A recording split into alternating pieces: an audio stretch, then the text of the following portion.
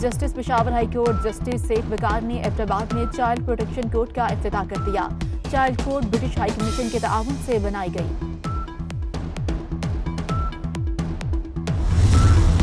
P T I حکومت کے پہلے مالی سال ٹیکسٹائل برآمدات میں انیس کروڑ ڈالر سے زائد کمی۔ دو ہزار اٹھارہ تا انیس میں ٹیکسٹائل برآمدات تیرہ ارب بتیس کروڑ اکیانوے لاکھ ڈالر رہی۔ ایک سال میں ٹیکسٹائل برآمدات میں ایک اشاریہ بیالیس فیصد کمی ہوئی۔ کوئی جو بڑی تبدیلی آ سکتی ہے ہماری اسٹریٹجی میں وہ جعلی حکمران کے استعفے کی صورت میں آ سکتی ہے اور یہی سب سے بڑا امکان ہے۔ یہ آزادی مارچ ہے۔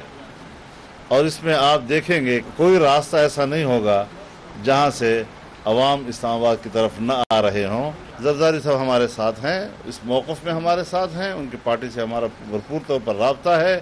تمام سیاسی جماعتوں کے ساتھ ہمارے رابطے ہیں اور کہیں سے بھی ہمیں کوئی مایوسی نہیں ملتا پورا ملک جنگ کا میدان اسلام آباد پہلا پڑاؤ ہوگا۔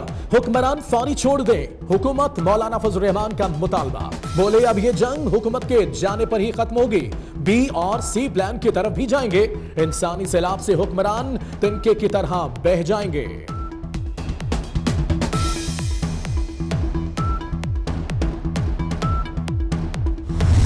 آگے آپ کے کھائی ہے اور پیچھے اچھائی، کیا کہتے ہیں؟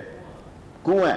اس تحریک کے چلنے کا نقصان کشمیر کی جدوجہد آزادی کو ہوگا اور ہندوستان بارڈر پہ چھیڑ چھاڑ کر سکتا ہے۔ میں فضل الرحمان صاحب سے کہتا ہوں، یہ نہ ہو کہ ستائیس اکتوبر میں دو ہفتے پڑے ہیں، کوئی چھیڑ چھاڑ ہی شروع ہو جائے اور یہ سارا ملبہ آپ کے سر پڑ جائے۔ شہباز شریف کو میں آخری بار یہ کہنا چاہتا ہوں ڈبل گیم نہ کرو ڈبل شاہ نہیں بنو۔ ڈبل شاہ نہیں بنو۔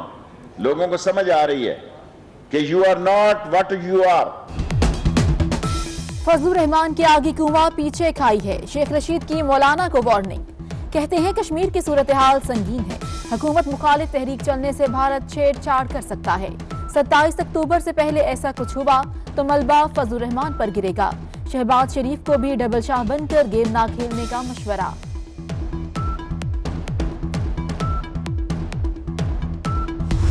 شیخ رشید کے باتوں کو سنجیدہ نہیں لینا چاہیے، وہ شغل کرتے ہیں۔ ان کی کوئی ایک بات ایسی نہیں جو صحیح ثابت ہوئی ہو۔ پی ٹی آئی کی حکومت کیسے آئی؟ ڈیپٹی سپیکر کے ڈبے کھلنے سے پتہ چل گیا۔ سعید غنی کی وفاقی حکومت پر تنقید۔